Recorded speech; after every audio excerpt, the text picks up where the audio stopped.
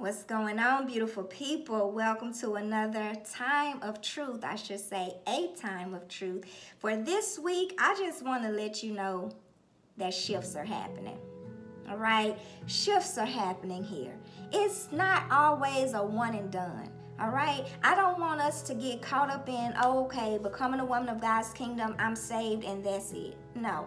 God still has to get rid of some things within us, right? Like we still have some development to do. We still have some learning to do. We still have some life to live in a new way, right? Life and life more abundantly. Remember from last Sunday?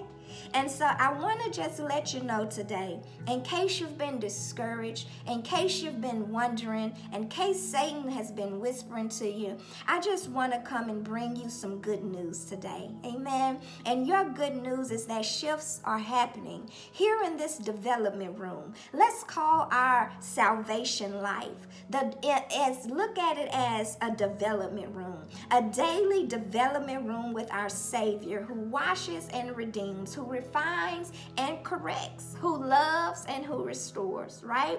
And so I want you to know that you are in a development room with the one who has hands like no other. I love how the scripture says, Mighty are the works of his hands. And so I just want to come here to remind you today that chains are breaking. I just want to come and remind you today that mindsets are being renewed. I believe that through the lessons, if you've watched them, if you've paid attention to them, if you're even just living and pursuing Christ on your own, I believe that mindsets are being renewed.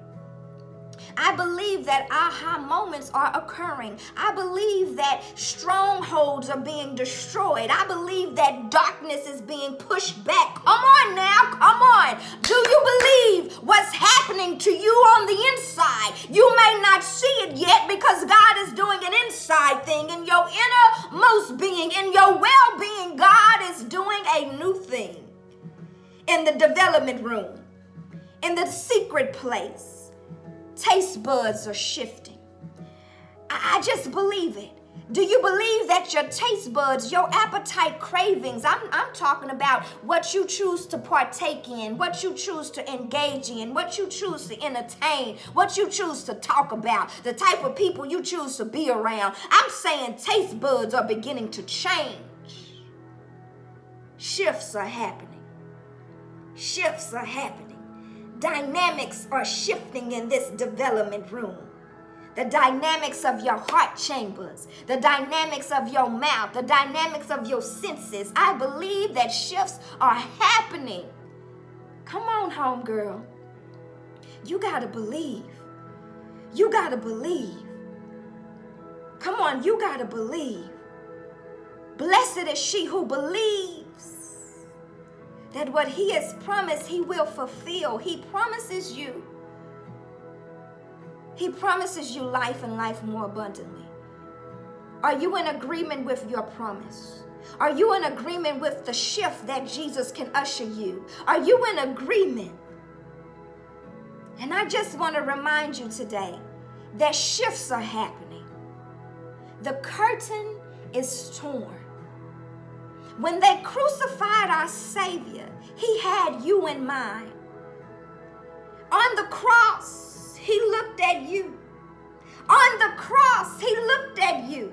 And He says, I'm doing this for my daughter. I'm doing this for my son. I'm doing this for their livelihood. I'm doing this for their well being. I'm doing this so that shifts can happen. I'm doing this so that chains can break. Can be renewed. I'm doing this so that they can be reconditioned. I'm doing this so that they can be reconciled unto me from where the Satan and being born into sin and shaped in iniquity has tainted them, has marred them, has scarred them. I, I'm doing this. And so you know on first Sunday how we take communion and the Lord says, Do this in remembrance of me. Do this in remembrance of how I came to set you free. When I gave up my last breath, they didn't take it from me. I gave it up for you so that shifts could happen. And when I said, It is finished, the curtain tore. the veil broke. And now you, you may be saying, Jesus, Jesus, why have you forsaken me?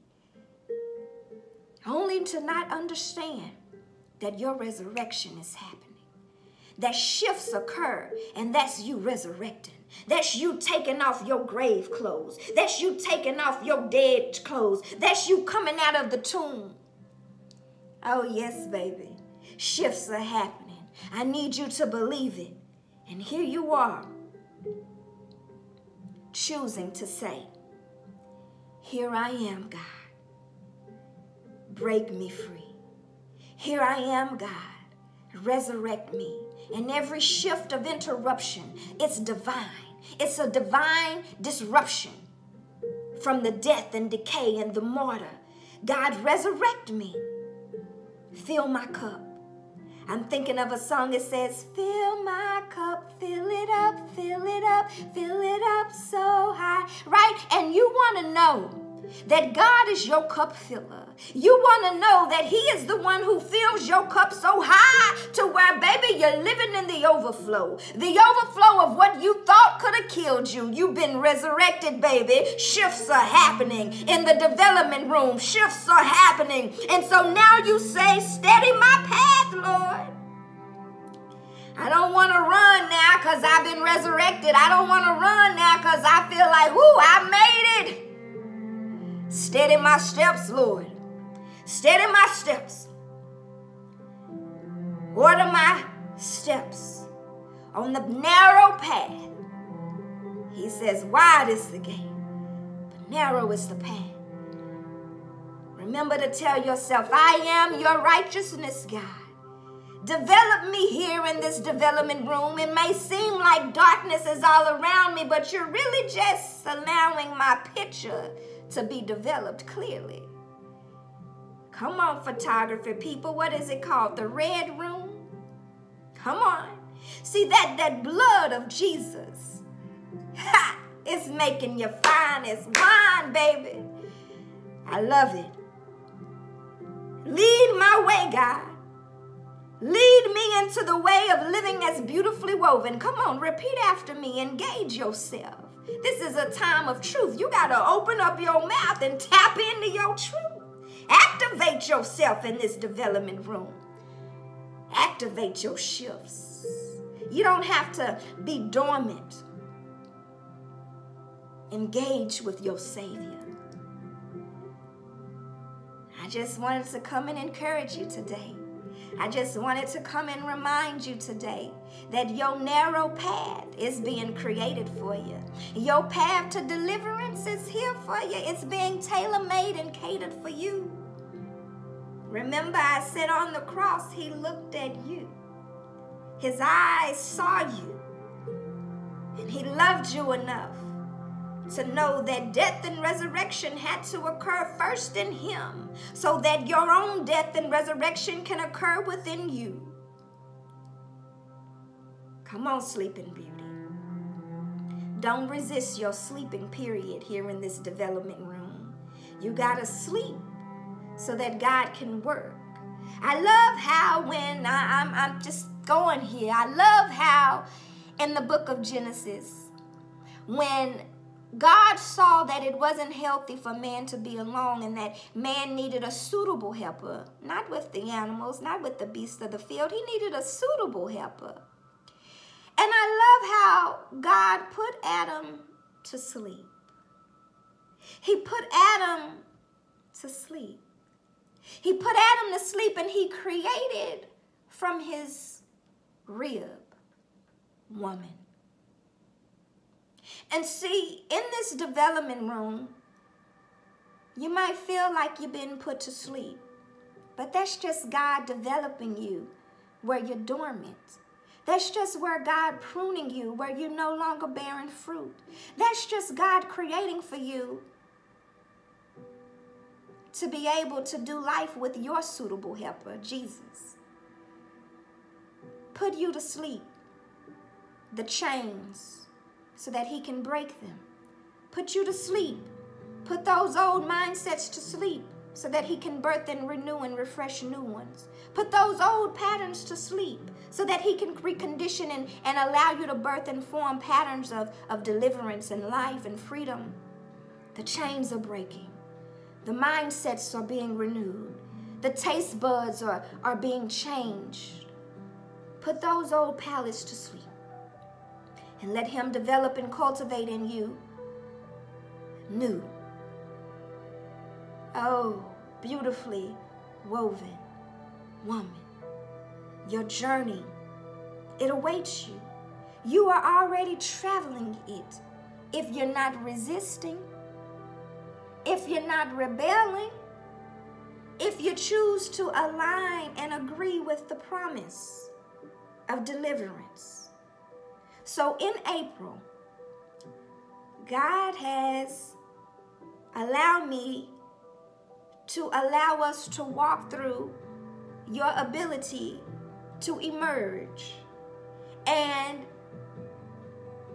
if you follow me on Instagram, if you're watching this from YouTube or from Facebook, just know that emergence is being created in the development room.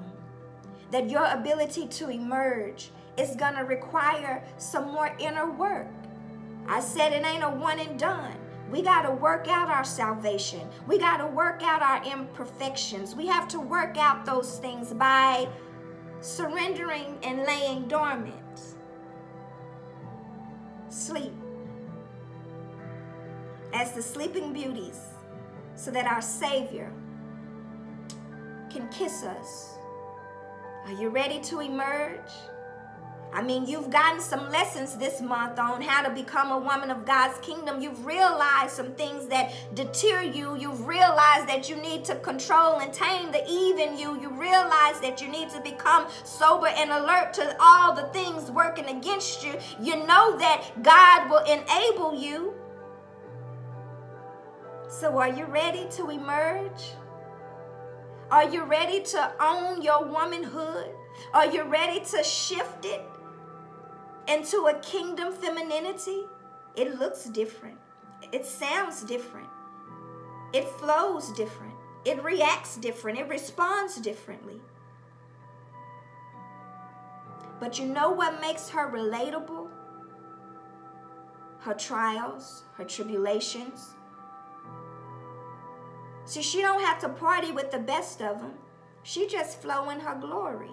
And she's allowed to testify of how God delivered her, of how God developed her, of how God shifted and broke the chains that kept her bound, on how God renewed her mind. Can I testify? Because I'm talking about myself. Jesus has allowed me to travel the path and I'm still traveling because we're still in levels until we reach eternity. Our, our true home is heaven. We're just passing through here. And as I've been passing through here, I have learned how to let God develop me in the development room. I have allowed to learn how to let God shift me. I have allowed to allow God to heal me. I have allowed free. I have allowed to let God make me a beautifully woven woman. In the midst of my tears, in the midst of my issues, in the midst of my trials and tribulations, I remain woven. It's a serious matter. Your road to emergence is a serious matter. Shifts are happening. Stay tuned because we're going to get real in April. We're going to get real in April. Plug in and engage yourself. Don't sleep on your resources that God is providing. You're watching and you're looking at a woman who has been so weary because she did life as the world told her to. Because I did life as I thought I should have. I've been awakened by my Savior. Stay tuned.